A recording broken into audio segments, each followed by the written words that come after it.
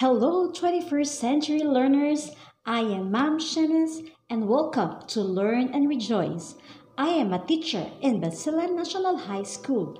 I would like to share this video about the eight parts of speech. I know most of us are already good in speaking the English language. However, we are not sure how accurate we are in terms of the use of words in expressing our ideas. I just want to go back to the basic of learning the eight parts of speech in the world of English grammar. Come, discover, and let's learn together. Before knowing the eight parts of speech, let us know what parts of speech are. Parts of speech are categories to which a word is assigned in accordance with its syntactic functions. This is according to Oxford Languages. The eight parts of speech are noun, pronoun, verb, adjective, adverb, preposition, conjunction, and interjection. Let's start with noun.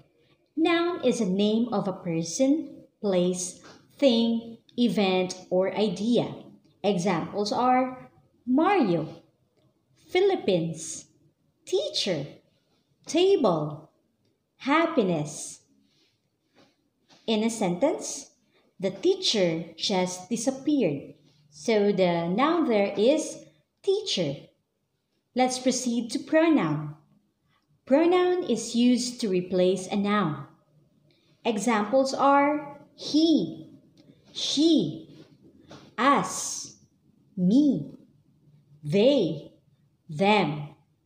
In a sentence, they like to be with us.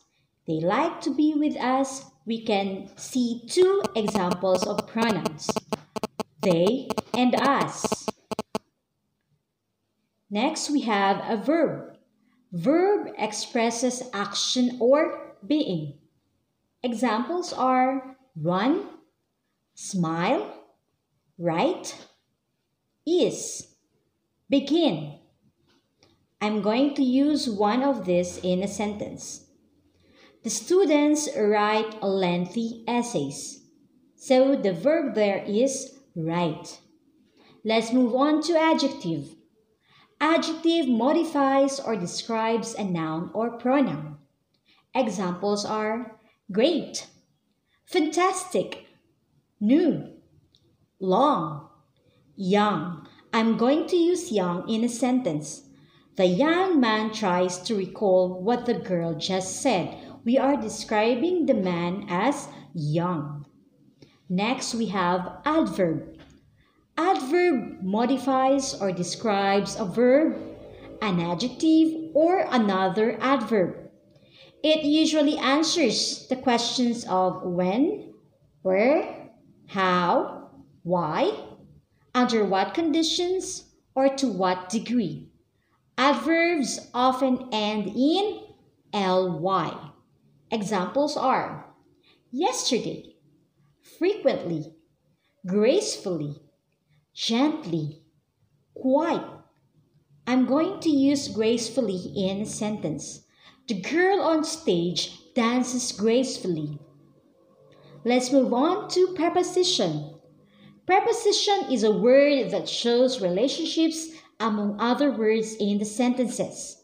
Examples are during, to, up, around, with. I'm going to use to. Maria and her mom went to the store. This means it gives direction. Next, we have conjunction. Conjunction joins words, phrases, or clauses and indicates the relationship between the elements joined. I'm going to give you examples. And, but, although, while, since. In the conjunctions, we can have to, we have subordinate conjunctions and coordinating conjunctions. Later on, we're going to discuss about these conjunctions further. All right, I'm going to use uh, and as an example. Mom went to the market and she bought some fruits and vegetables. This means that this word and, okay, as a form of conjunction and as an example of conjunction, This is used to join words. In the sentence a while ago, there are two ideas. I use and to join these two ideas. And the last part of speech is the interjection. Ouch! Interjection is a word that expresses emotion or feeling. As what I've said a while ago, ouch, it's an expression. This means that you're hurt. Next, we have wow. Oh, whoa, yahoo!